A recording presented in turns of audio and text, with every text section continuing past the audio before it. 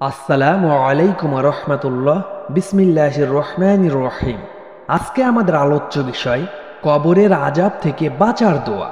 প্রিয় ইসলামী ভাইয়েরা, কবর হলো খুবই ভয়ানক ও অন্ধকার একটি স্থান, যেটি মুমিনদের জন্য একটি আরামদায়ক স্থান এবং কাফিরদের জন্য খুবই ভয়ানক একটি স্থান।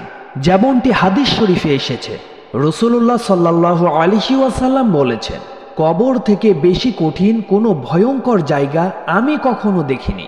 প্রিয় ইসলামী ভাইরা কবরের আজাব থেকে বাঁচার একটি খুবই গুরুত্বপূর্ণ দোয়া। দোয়াটি হল মিন কবর যার বাংলা অনুবাদ, হে আল্লাহ, আমাকে কবরের আজাব থেকে রক্ষা করুন। আল্লাহ তাআলা আমাদেরকে এই দোয়াটি অর্থাৎ কবরের আজাব থেকে বাঁচার দোয়াটি বেশি বেশি পড়ার তৌফিক দান করুক। আমরা সকলে বলি আমিন। বিজাহিন জেলা আমিন সাল্লাহ আলহি ওয়াসাল্লাম।